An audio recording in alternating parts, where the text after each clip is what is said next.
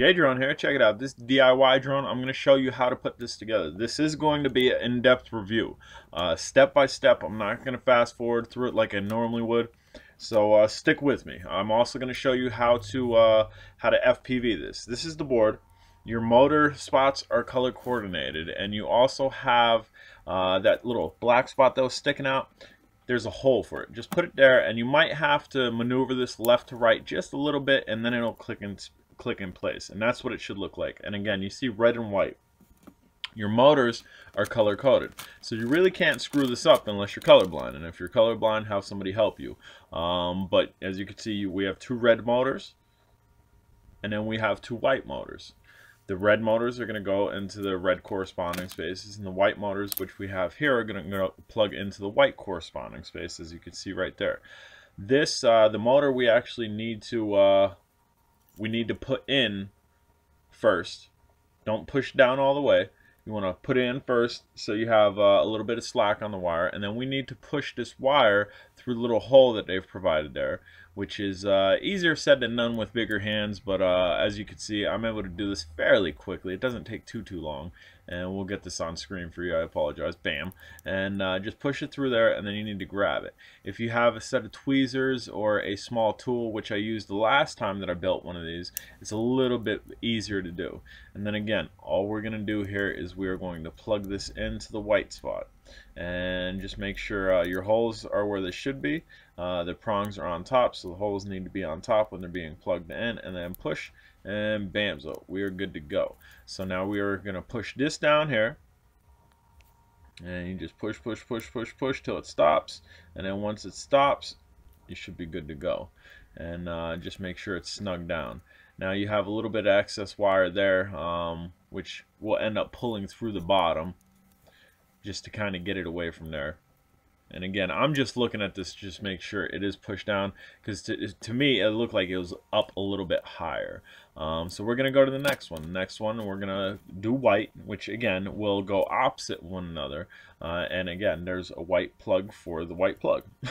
um, this doesn't get any easier than this, man. And I mean, I could speed this up through, through it and uh, kind of go through it. And I'm sure everybody would be able to understand me talking in chipmunk voice and speeding it up. But I really wanted to do an in-depth review on this just to show you literally how simple this is. It does, uh, it, it's a little time consuming just kind of getting these through here, but it is A to B.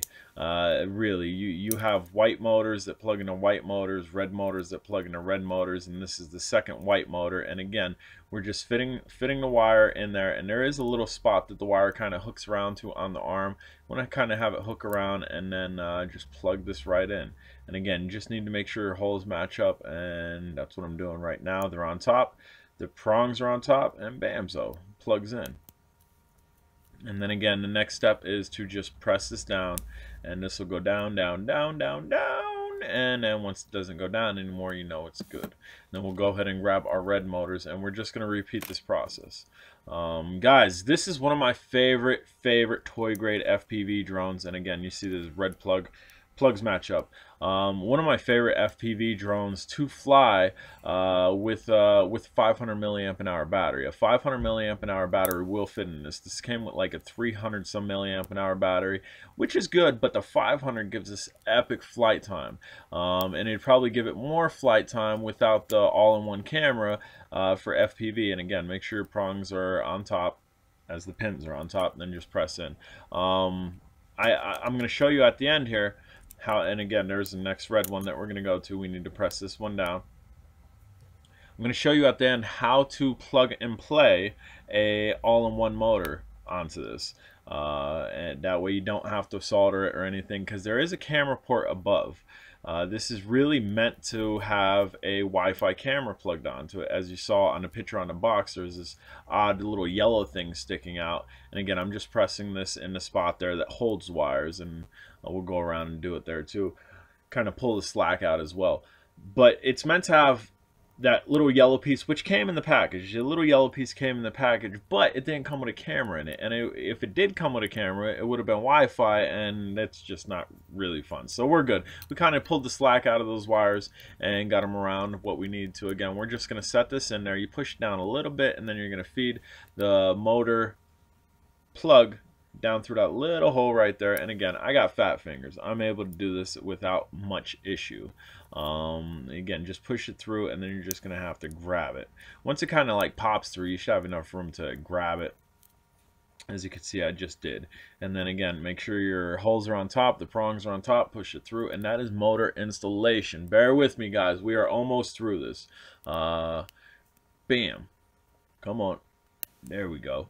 So uh, that that's basically your board's on, your motors are on, and again, you see that slack right there? All you want to do is come underneath it and pull up. Just pull up a little bit. You don't want you. I I would rather have the wires having slack underneath, away from the propellers. Um, now to put this cover on, there's a little hole for the LED in the front, which you can see, Bamzo, that little hole right there and then that goes over the LED. So it's really hard to screw this up as far as putting this on too. And then you're just going to go all the way around at 360 degrees and just give it a little pinch. You'll hear it snap and just go all the way around and pinch it and make sure it's tight. Make sure it's tight all the way around. And there you go. And that's basically what it looks like. You can see up top, there's a camera port that is live. Again, it's meant to take a Wi-Fi camera. You can hook a 5.8 gigahertz camera to it if you wire uh, if you wire a plug correctly into into your camera, which I'm going to show you I've done here. So this is just an all-in-one, uh, 25 milliwatts, and I have a plug running into that plug, which ends in BAMZO the proper plug. Uh, I snipped that off of like an X5C's camera and that's how I got that and this is just going to plug and play guys. And again, you just need to look at your holes and look at your prongs and make sure you're pushing them in correctly and bamzo, plug and play. Now the way I do it with this is because I have the wires a little bit long, I could have trimmed them, is I underdog it underneath one of the arms and then bamzo. I would set it there, which we'll show you at the end how I set stuff onto this, which is simply by cutting a piece of double-sided tape and it will sit right there very nicely. You won't ever have to replace it if you use the right type of tape, which I use uh, a double-sided duct tape, um, which isn't duct tape, but it's a duct tape brand. And on here, I'll show you on the arms, the arms are labeled. The arms are labeled A, B, and C. This one says A. Underneath that red and blue wire, it says A. So the propeller that's going to go there is an A propeller. And then underneath here, we'll move the wires out of the way a little bit. You should be able to see a B. Um, again, a B propeller is going to go there. There are A1, A2, B1, B2 propellers. Um, it doesn't matter. Just make sure A is on A and B is on B. So we're going to put that down there and you press it down. Just make sure it's snug.